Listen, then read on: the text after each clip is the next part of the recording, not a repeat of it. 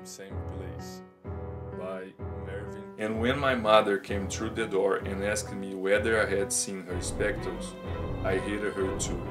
I hated the clothes she wore, tasteless and fussy. I hated them deeply. I hated something I had never noticed before. It was the way the heels of her shoes were worn away on their outside edges. Not badly, but appreciably. It looked mean to me, slatternly, horribly human. I hated her for being human, like father. She began to nag me about her, her glasses and the threadbare conditions of the elbows of my jacket. And suddenly I threw my book down. The room was unbearable. I felt suffocated. I suddenly realized that I must get away. I had lived with these two people for nearly 23 years. I had been born in the room immediately overhead. Was this the life for a young man? To spend his evenings watching the smoke drift out of his father's mouth and stand at that decrepit old mustache, year after year. To watch the worn away edges of my mother's heels, the dark brown furniture and the familiar stains on the chocolate colored carpet, I would go away. I would shake off the dark, smug mortality of the place. I would forego my birthright. What of my father's business into which I would step at his death? What of it? To hell with. I began to make my way to the door, but at the third step I caught my foot in a rug of the chocolate-colored carpet, and in reaching out my hand for support, I sent in a big vase flying. Suddenly, I felt very small and very. I saw my mother's mouth opening and reminded me of the front of the door, and the front door reminded me of my urge to escape. To where? To where? I did not wait to find an answer to my own question, but, hardly knowing what I was doing, ran from the house. The accumulated boredom of the last 23 years was at my back, and it seemed that I was propelled through the garden gate from its pressure against my shoulder blades. The road was wet with rain, black and shiny like oil skin. The reflection of the street lamps wallowed like yellow jellyfish. A bus was approaching. A bus to Piccadilly. A bus to the Never Never Land. A bus to death or glory. I found neither. I found something which haunts me still.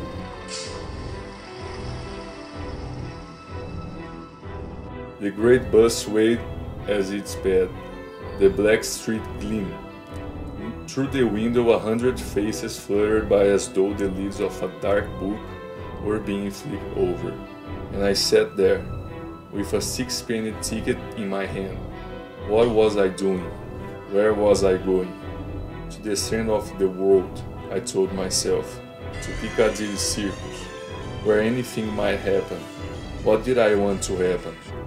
I wanted life to happen. I wanted adventure, but already I was afraid.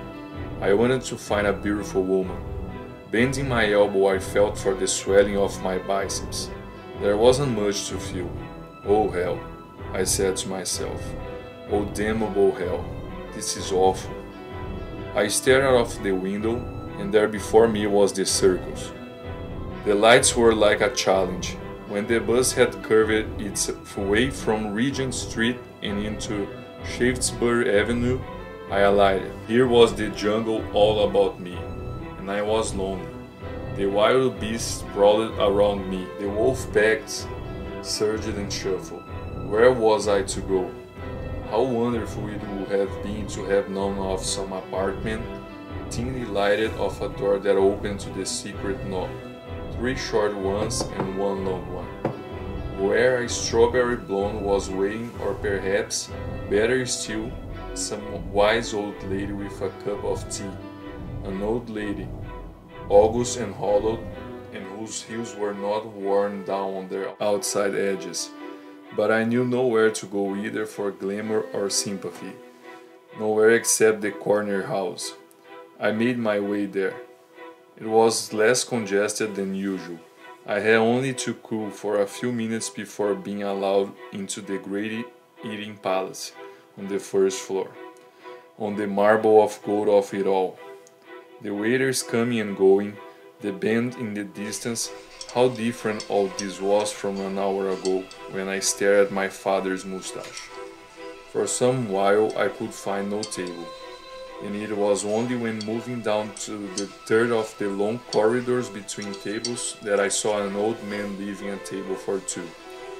The lady who had been sitting opposite him remained where she was. Had she left, I would have no tale to tell.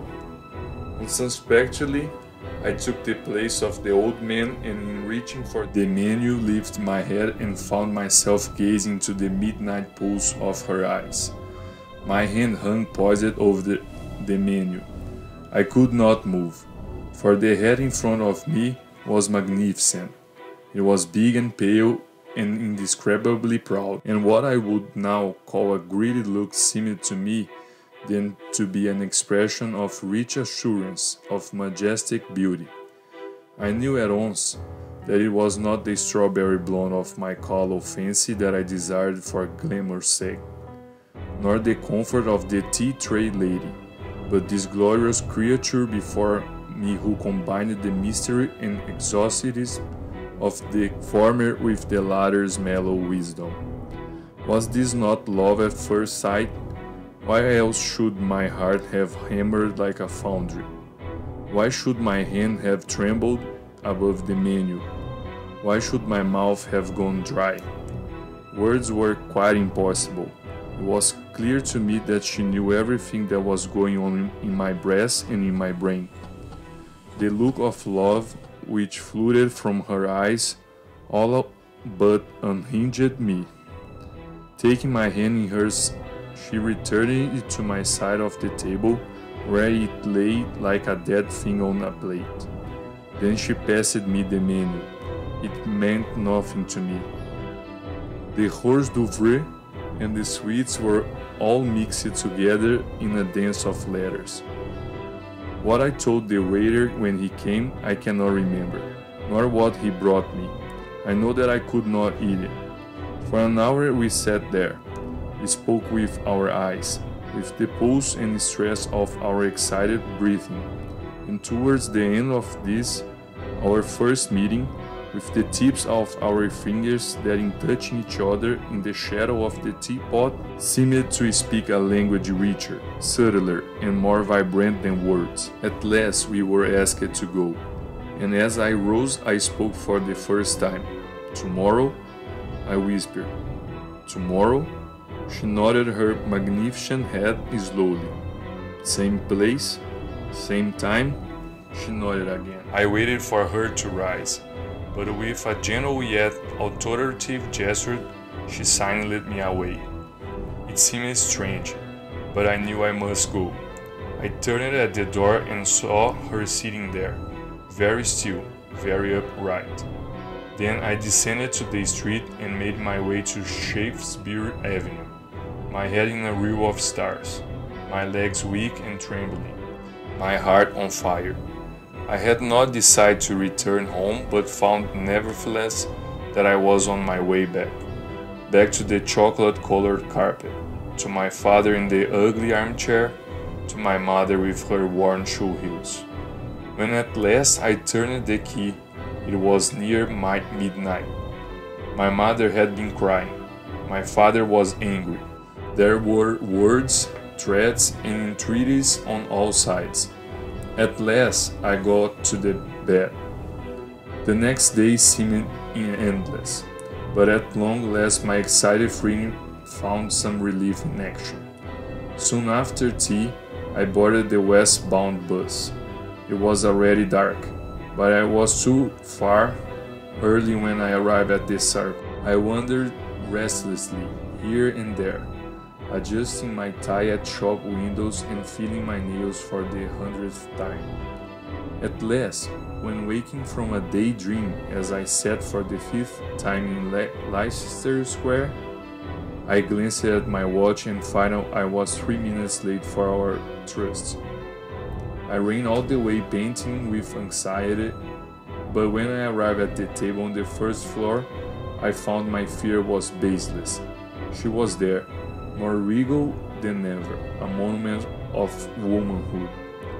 Her large, pale face relaxed into an expression of such deep pleasure at the sight of me that I almost shouted for joy. I will not speak of the tenderness of that evening. It was magic. It is enough to say that we determined that our destinies were inextricably joined. When the time came for us to go, I was surprised to find that the procedure of the previous night was once more expected of me. I could in no way make out the reason for it. Again, I left her sitting alone at the table by the marble pillar. Again, I vanished into the night alone with those intoxicating words still on my lips. Tomorrow, tomorrow, same time, same place. The certainty of my love for her and hers for me was quite intoxicating. I slept little that night, and my restlessness on the following day was an agony both for me and my parents. Before I left that night for our third meeting, I crept into my mother's bedroom and opening her a jewel box, I chose a ring from among her few trinkets. God knows it was not worth it to sit upon my loved one's finger, but it would symbolize our love.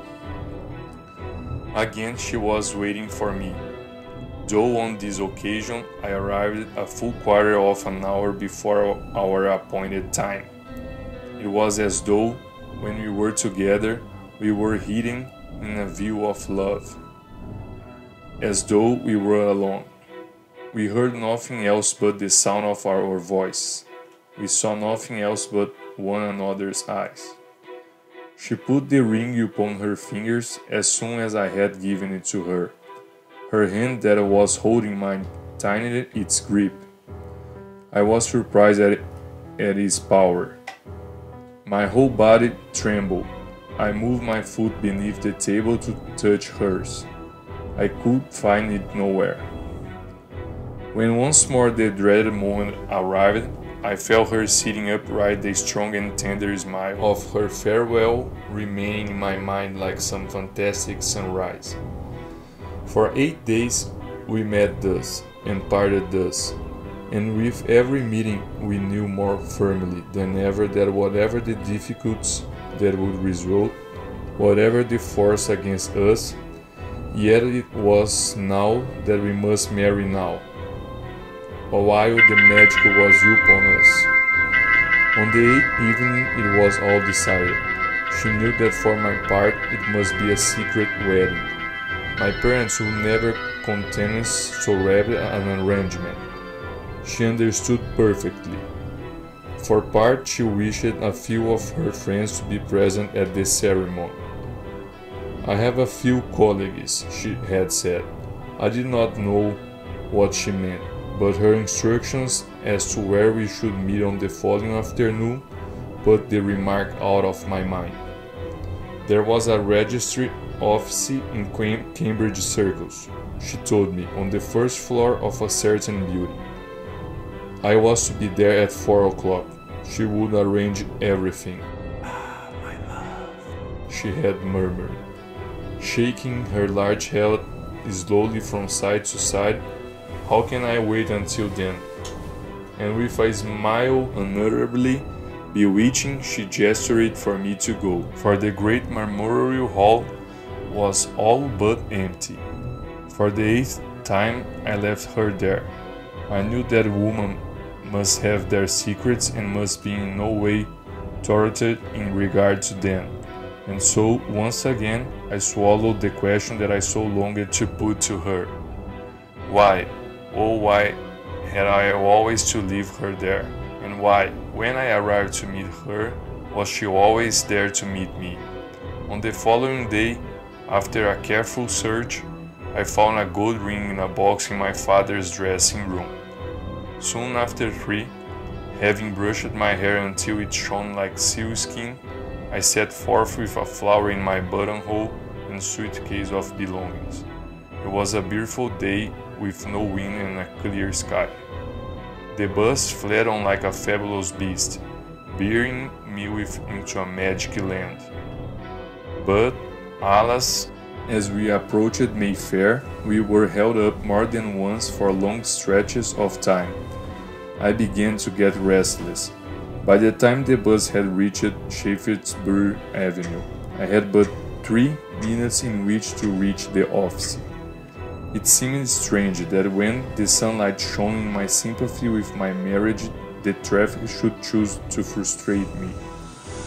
I was on the top of the bus and having been given a very clear description of the building, was able as we rounded at last into Cambridge Circus to recognize it at once. When we came alongside my destination the traffic was held up again and I was offered the perfect opportunity of disembarking immediately beneath the building. My suitcase was at my feet, and as I stooped to pick it up, I glanced at the windows on the first floor, for it was in one of those rooms that I was so soon to become a husband. I was exactly on a level with the windows in question and commanded an unbroken view of the interior of a first floor room. It could not have been more than a dozen feet away from where I sat. I remember that our bus was hooting away, but there was no movement in the traffic ahead. The hooting came to me as through a dream, for I had become lost in another world. My hand was clenched upon the handle of the suitcase. Through my eyes and into my brain, an image was pouring the image of the first floor room. I knew at once that it was in the particular room that I was expected. I cannot tell you why, for during those first few moments I had not seen her. To the right of the stage, for I had the sensation of being in a theatre, was a table loaded with flowers. Behind the flowers sat a small pinstripe register. There were four others in the room, three of whom kept walking to and fro. The fourth, an enormous bearded lady, sat on a chair by the window. As I stared, one of the men bent over to speak to her. He had the longest neck on earth.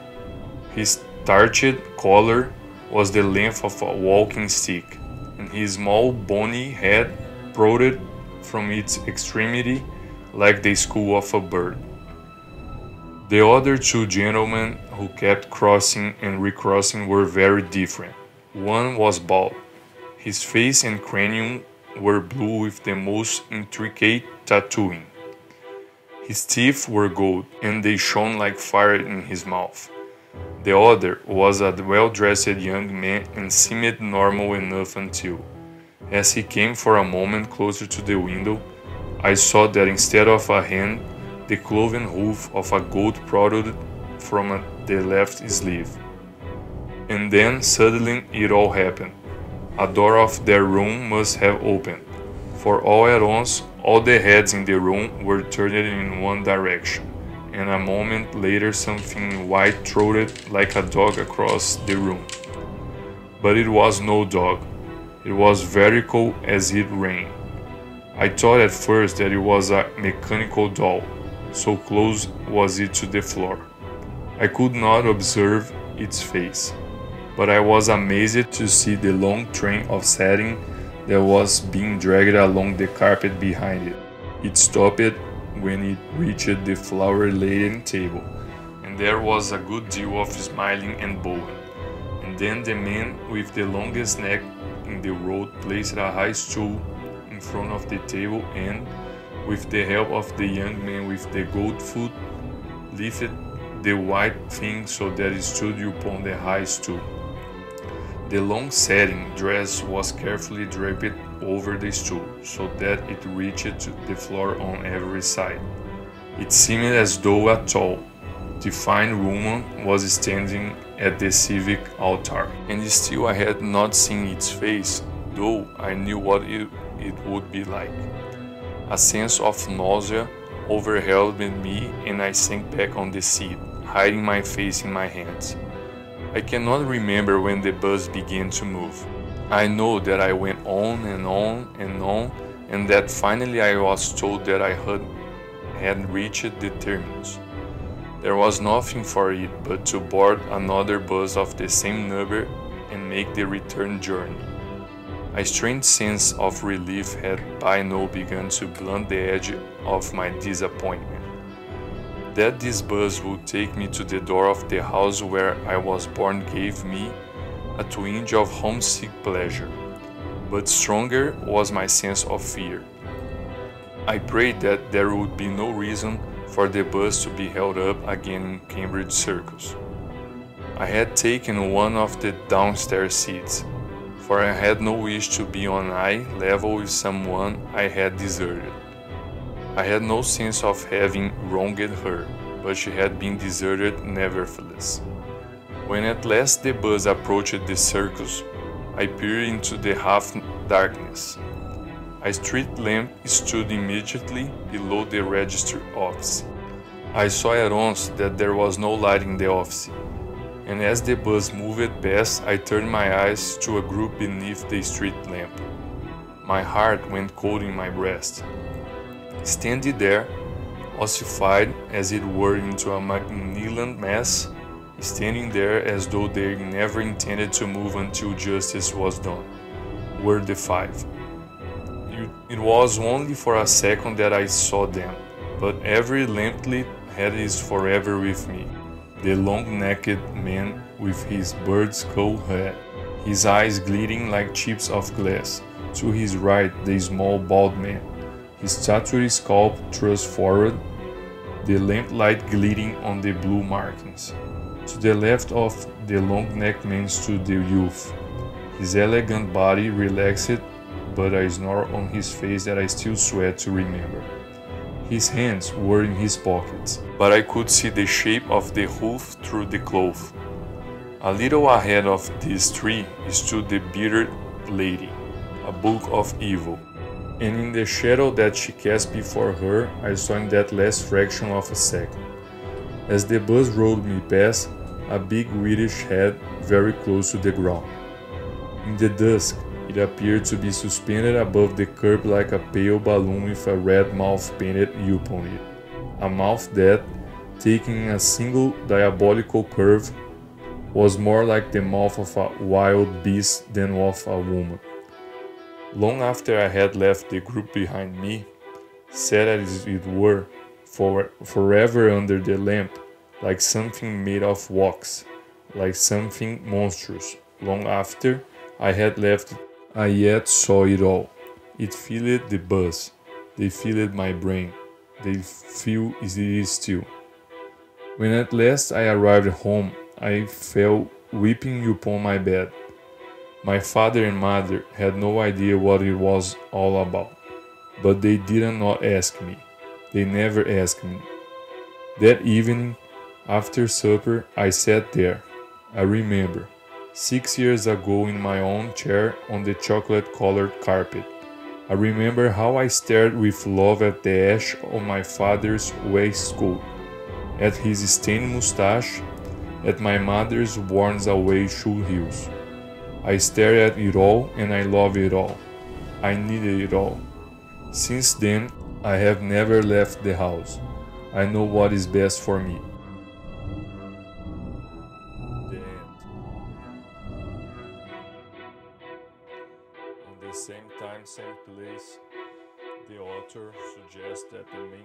Character has an Oedipus complex and a rivalry toward his father. Oedipus complex is a psychoanalytic theory created by Sigmund Freud. He suggests that a boy on his development stage has unconscious sexual desire for the parent of the opposite sex, mother and jealously envy and sense of rivalry with the parent of the same sex, father. A boy wants to compete with his father to get the mother's attention. The kid wants to exclude his father taking his place with his mother. This theory applies on the text when the main character see his father apparently doing nothing than usual in the living room. The father is sitting on an armchair smoking a cigarette, eyes half closed, almost sleeping. The guy starts to complain about what his father is doing. He hates everything about his, his father his smell, his mustache, his relaxed moment, even the smoke of his cigarette. He wants to run away from his home because he cannot sustain this relationship anymore.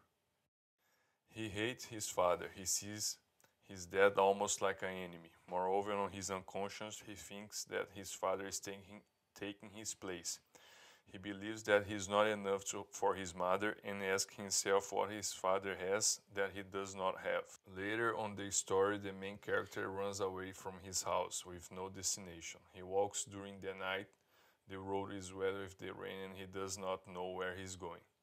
He seems lost. He sees a bus approaching. This bus goes to Piccadilly Circus. He believes that there is a good place to go. During the ride, he feels lonely and wish company to himself, someone to go on an adventure with him. First, he desires a blonde girl waiting for him, but he has a better idea a, a wise old lady with a cup of tea. The main character sees this wise old lady as a figure of his mother. He feels lonely and wants a company. He cannot be with his mother, so he desires someone with the features that he has expected and missed on his mom. The main character also makes a comparison saying that he expects the wise old lady has different shoes than his mom. One more time show us how this woman represents his mom. When he says about his shoes, it shows something sexual, but for psychoanalysis, sexual is not related with the sexual desire in adults. It is related to affection, the desire to be sufficient for his mom. This can be the reason that makes him run away from his home.